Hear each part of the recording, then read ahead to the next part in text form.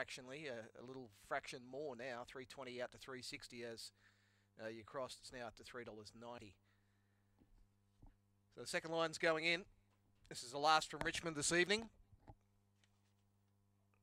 And uh, Bam Bam Appeal in there. Good friend on the outside. There's the green light. We're ready to go in the last. Set. Racing, Sir Minter only fairly away. Fast out was Angel Fever. Bam Bam Appeal showing speed and crossing was Good Friend. Good Friend led Bam Bam Appeal into the back and then Zipping Blitz and Tap Out Ava. A gap back to Rockstar Midge, Sir Minter, Angel Fever. And well back at the tail is Showy's Your Daddy. Down the side, it's still Good Friend in front. Zipping Blitz coming after it. Good Friend went wide. Zipping Blitz drove through on the inside. They hit it.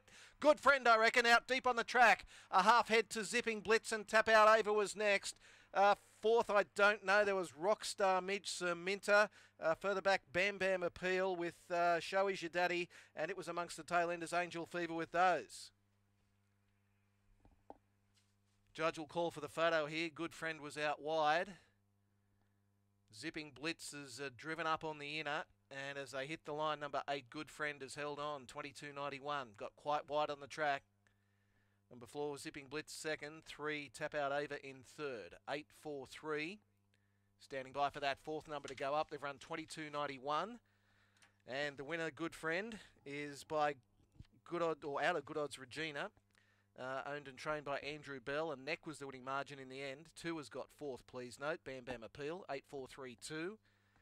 The runner-up, Zipping Blitz, Don't Knock a Him, Tricky Jade, uh, Martin and Fiona Hallen and Michelle Sultana, and Tap Out Ava, Barcia Bale, Indigo Gem, Rodney Metzeler. 8432, 2291, margins to follow on the last.